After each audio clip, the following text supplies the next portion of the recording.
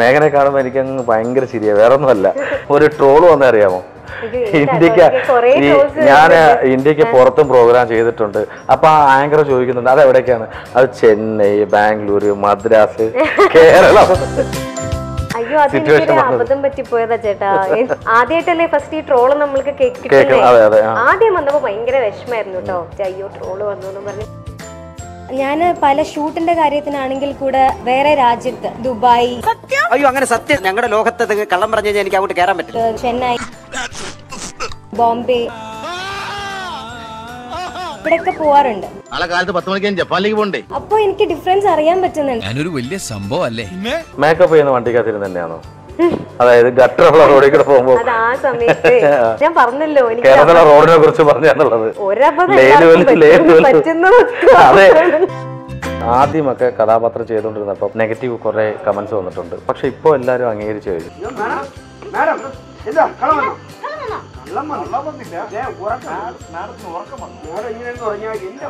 മറക്കാൻ ആഗ്രഹിക്കുന്ന കാര്യം. ഒന്നും മറക്കരുത്. നമ്മൾ നമ്മളാക്കിയ കുറെ കാര്യങ്ങളാണ് നമ്മുടെ ലൈഫിലുള്ളത്. അപ്പൊ അത് മറന്ന നമ്മൾ നമ്മളല്ലാണ്ടായി പോകും എന്റെ അമ്മു ഞാനിത് ആരോടാ ചോദിച്ചത്? യൂട്യൂബിൽ ഫുള്ള് മോട്ടിവേഷൻ ചെയ്യുന്ന ഒരാളാ. ആ ആളോടാ ഞാൻ ഈ ചോദിച്ചത്? അങ്ങനെ ക്ഷമിച്ചേരെ കേട്ടോ. Your relationship status single single ready to not ready to mingle ഈ ഗ്ലാസ്സിൽ കുറച്ച് വെള്ളമുണ്ട്. ഇതിന് എത്ര വെയിറ്റ് ഉണ്ടാവും? ഇത്രയുള്ള ഒരു ഗ്ലാസ്സിൽ ഡിപ്പെൻഡ് ആണ്. ഇത്രയും ഉണ്ടെങ്കിൽ ഒരു നൂറ് മില്ലി കാണും. അതാണ് ആൻസർ ഉറപ്പല്ലേ? എത്ര അളവുണ്ടെന്നല്ലേ ചോദിച്ചത്? ഞാൻ എത്രയും നേരം ഇത് പിടിച്ചുകൊണ്ടിരിക്കുന്നു അത്രയും വെയിറ്റ് എനിക്ക് ഫീൽ ചെയ്യും. ഹലോ നമസ്കാരം. ഇന്ത്യ ക്ലസിലെ പ്രേക്ഷകർക്ക് സ്വാഗതം. ഇന്ന് എന്നോടൊപ്പം ഉള്ളത് ഒരു നായികയാണ്. ചന്ദനമലയിൽ കരഞ്ഞുകൊണ്ടിരുന്ന നായിക. ഇപ്പോൾ മിസ്സിസ് ഹിറ്റ്ലറിൽ എല്ലാവരും ചിരിപ്പിച്ചുകൊണ്ടും ദേഷ്യം പിടിപ്പിക്കുന്ന ഒരു നായികയാണ് ഇപ്പം എന്നോടൊപ്പം ഉള്ള മേഘനയാണ്. മേഘന നമസ്കാരം. ഇത്ര ഇൻട്രോ പോരെ. വലിച്ചു നീട്ടണ്ട. ചന്ദ്ര ചന്ദ്രമലയ്ക്ക് ശേഷം ആഫ്റ്റർ ലോങ് ടൈം അല്ലേ? ഇതിലേക്ക് വരുന്നു. പറയൂ. അത്രയും സമയം എവിടെ ആയിരുന്നു ചന്ദ്രമലയ്ക്ക് ശേഷം ഇടയ്ക്ക് കുറച്ച് നാൾ. കുറച്ച് നാൾ തമിഴിൽ കുറച്ച് പ്രോജക്റ്റ് ചെയ്യുന്നുണ്ടായിരുന്നു. അപ്പം അങ്ങനെ അതിന്റെ കുറച്ച് ബിസി ആയിരുന്നു. ഒരു രണ്ട് ഒരു സീരിയലും ഒരു റിയാലിറ്റി ഷോയും ചെയ്യുന്നുണ്ടായിരുന്നു. തമിഴിൽ ഏത് ഏത് ചാനലിലായിരുന്നു ഏത് സീരിയൽ സ്റ്റാർ വിജയിൽ തന്നെയായിരുന്നു രണ്ടും. പൊന്മകൾ വന്താൽ എന്ന് പറഞ്ഞൊരു സീരിയലും ജോഡി ജോഡി കേട്ടിട്ടുണ്ടോ? ജോഡി നമ്പർ വൺ നമ്മുടെ മലയാളത്തിലുണ്ടല്ലോ അതൊക്കെ.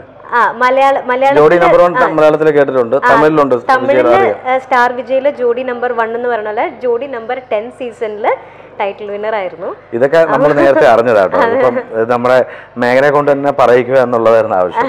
ജ്യോതി അല്ലേ? ജ്യോതി കഥാപാത്രത്തിന്റെ ജ്യോതി. ഇപ്പൊ മേഘനയായിട്ടാണ് ഇരിക്കുന്നത്. അല്ല ഇപ്പൊ ഞാൻ ജ്യോതിയിലേക്ക് വരാൻ പോകുന്നത്. ആണോ? അപ്പൊ എന്നാ ജ്യോതിയായിട്ട് തന്നെ പറയാം. എങ്ങനെ ജ്യോതി എന്ന് പറയുന്ന കഥാപാത്രം. കാര്യം ഞാൻ ഇന്നലെ ഞാൻ കണ്ടു.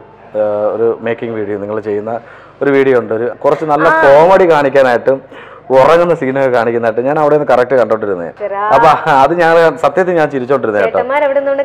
തുമ്പിയെ കൊണ്ട് കല്ലെടുപ്പിക്കുക എന്നുള്ളത്.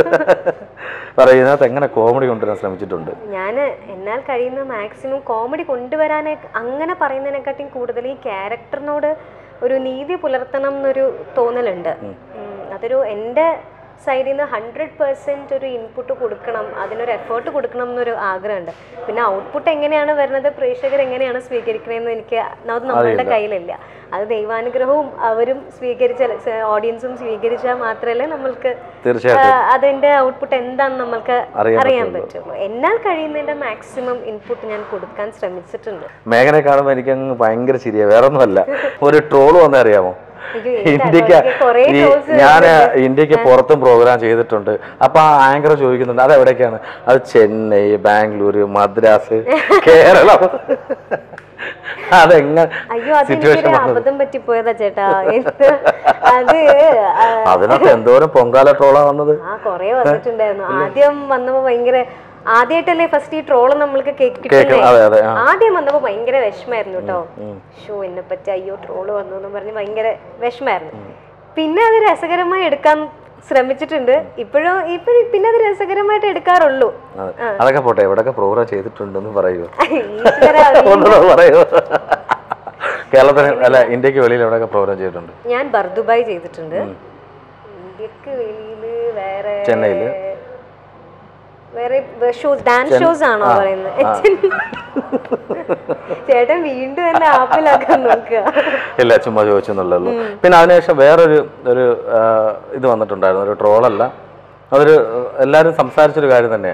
മേക്കപ്പ് ചെയ്യുന്ന വണ്ടിക്കകത്തിരുന്ന് തന്നെയാണോ അതായത് ഗട്ടറുള്ള റോഡിൽ കൂടെ പോകുമ്പോൾ അത് ആ സമയത്ത് അങ്ങനെ ഒരു ഞാൻ പറഞ്ഞല്ലോ എനിക്ക് കേരളത്തിലെ റോഡിനെ കുറിച്ച് പറഞ്ഞാന്നുള്ളത്. റോഡിനെ കുറിച്ച് അതൊക്കെ ഇപ്പൊ നമുക്ക് വേണേ തെളിയിക്കാം കേട്ടോ. പറഞ്ഞ എന്താ കാരണം എന്നുള്ള അങ്ങനെ അബദ്ധത്തിൽ പറഞ്ഞു പോയതാണ് അബദ്ധത്തിൽ പറഞ്ഞു പോയതാണ് ഒരു അബദ്ധം പറ്റി. ഇപ്പൊ ചേട്ടൻ ചോദിക്കും അതെ ഞാൻ പറഞ്ഞത് ഒരബദ്ധം ഓക്കെ. ചെന്നൈ മദ്രാസൊക്കെ ഓക്കെ. വീണ്ടും മേക്കപ്പ് ഇട്ട് റോഡിൽ കൂടെ പോകാൻ പറഞ്ഞു അതെല്ലാരെയും അറിയിക്കുകയും ചെയ്തല്ലേ? പക്ഷേ ഇതൊക്കെ ഒരു ഇത് പാർട്ട് ഓഫ് ലൈഫ് കാര്യം ഇത് നമുക്ക് സന്തോഷമുള്ള കാര്യം തന്നെ. നമ്മളെ ട്രോളും നമുക്ക് വലിയ കാര്യമോ? കറക്റ്റ് അല്ലേ ഞാൻ പറയുന്നത്? ആദ്യമൊക്കെ കഥാപാത്രം ചെയ്തുകൊണ്ടിരുന്നപ്പം നെഗറ്റീവ് കുറേ കമൻസ് വന്നിട്ടുണ്ട്. ഈ കഥാപാത്രം മേഘന ചെയ്താൽ കൊള്ളില്ല. അല്ലെങ്കിൽ അങ്ങോട്ട് ഏൽക്കുന്നില്ല പക്ഷെ ഇപ്പോൾ എല്ലാവരും അംഗീകരിച്ചു കഴിഞ്ഞു. ആ സമയങ്ങളിൽ എന്താ ഫീൽ ചെയ്തത്? കമന്റ്സ് കണ്ടിട്ടുണ്ടായിരുന്നു അങ്ങനെ? ആ പിന്നെ ഞാൻ എല്ലാ കമന്റ്സും വായിക്കാറുള്ള കൂട്ടത്തിലാണ്. ആദ്യം ഈ ഒരു ക്യാരക്ടർ എന്റെ അടുത്ത് ഇവർ പറയുമ്പോൾ സി ചാനൽ എന്റെ അടുത്ത് ഈ ക്യാരക്ടർ എങ്ങനെയാണ് ഇങ്ങനെയാണെന്ന് പറയുമ്പോൾ എനിക്കും ടെൻഷൻ ഉണ്ടായിരുന്നു. എനിക്ക് ശരിക്കും ചാലഞ്ചിങ് ആയിട്ടാണ് തോന്നിയത്. കാരണം ഒരു ഒരു നാല് നാലര കൊല്ലം എന്നെ കണ്ണീർ പുത്രിയായിട്ടാണ് എല്ലാവരും കണ്ടിരിക്കുന്നത്. അവിടെ നിന്നൊരു ഭയങ്കര ഒരു ട്രാൻസ്ഫോർമേഷൻ അതെ, ഇത് എങ്ങനെ ഇത് എങ്ങനെയായിരിക്കും അവർ സ്വീകരിക്കുന്നത് എന്നുള്ളൊരു ടെൻഷനും ചാലഞ്ചും എല്ലാം ഉണ്ടായിരുന്നു എനിക്ക്. ഈ ഒരു സീരിയൽ മേഖലയിൽ നിൽക്കുമ്പോൾ ഒരു നായിക കഥാപാത്രമായിട്ട് നിൽക്കുമ്പോൾ നമുക്ക് കുറച്ച് ഫോളോ ചെയ്യണമല്ലോ. ഈ ജാട ഒന്നാമത്തത് ജാട പിന്നെ അറിയാത്തവർക്ക് മിണ്ടാതിരിക്കുന്നത്. അങ്ങനെയൊക്കെയുള്ള ചില ആൾക്കാരുടെ ഒരു രീതികൾ ഞാൻ കണ്ടിട്ടുണ്ട്. പല ലൊക്കേഷനിൽ കണ്ടിട്ടുണ്ട്. മേഘനെ സംബന്ധിച്ചുള്ള എങ്ങനെയാണ്? മിണ്ടിയെ തിരിച്ചു മിണ്ടത്തില്ലേ? അല്ല ഒരാൾ എന്ന് പറയാ മേഘനയുടെ അഭിനയം കൊള്ളത്തില്ല കേട്ടോ ഭയങ്കര ബോറായിട്ടുണ്ട്. നേരിട്ട് പറയാണ്. അപ്പൊ എങ്ങനെ ഫീൽ ചെയ്യാത് ഓരോരുത്തരുടെ പോയിന്റ് ഓഫ് വ്യൂ അല്ലേ അത്? ഞാനിപ്പോൾ ഇട്ടിരിക്കുന്ന ഡ്രസ്സ് ഇത് എനിക്കിഷ്ടായി. ഒരു നൂറ് പേരെടുത്തു കഴിഞ്ഞാൽ അതിലൊരു രണ്ടു പേർക്കെങ്കിലും ഇഷ്ടം ഉണ്ടാവില്ല. അതങ്ങനെ അങ്ങനെ തന്നെയാണ് അത് പക്ഷെ അത് ആ പോസിറ്റീവ് മൈൻഡിൽ തന്നെ എടുക്കും അല്ലേ?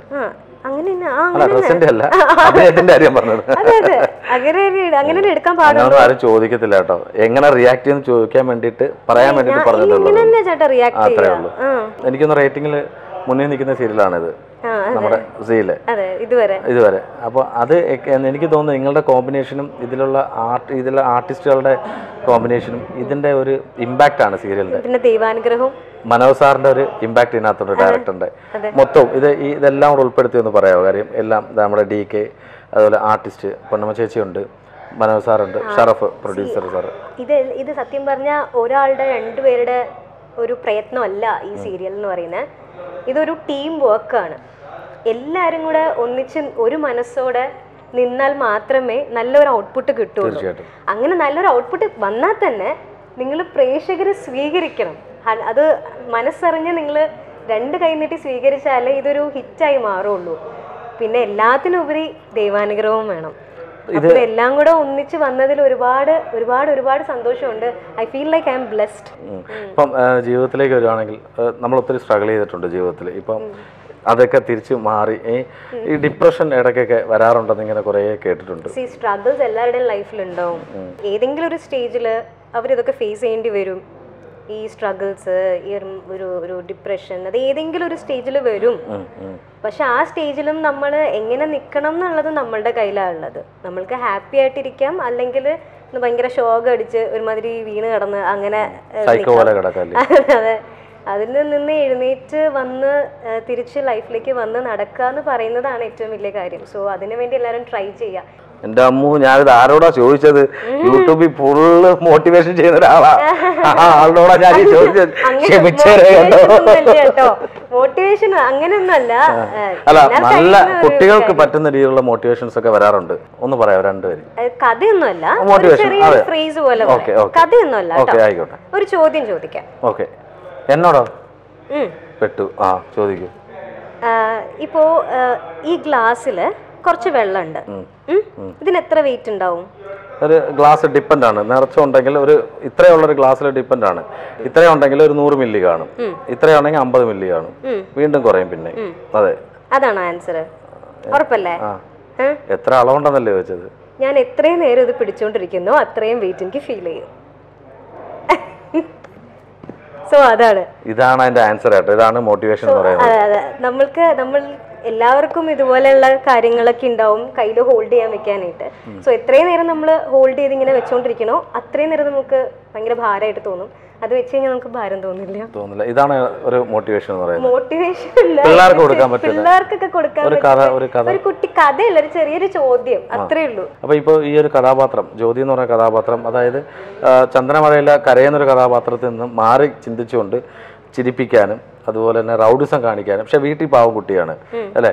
വന്നു കയറിയ വീട്ടിൽ നിന്ന് റൗഡിസം കാണിച്ചോണ്ടിരിക്കുകയാണ് റൗഡിസം അല്ല ജ്യോതി എന്ന് പറയുന്ന പെൺകുട്ടി എന്ന് പറഞ്ഞു കഴിഞ്ഞാൽ ലൈക്ക് അവൾക്ക് നേരിടേണ്ടി വരുന്ന ഓരോ പ്രശ്നങ്ങൾ അവൾ വളരെ പോസിറ്റീവായിട്ടും തളർന്നു പോവാണ്ട് എങ്ങനെ ഇതിനെ നേരിടാം എന്ന് ഫേസ് ചെയ്യുന്ന ഒരു പെൺകുട്ടിയാണ്.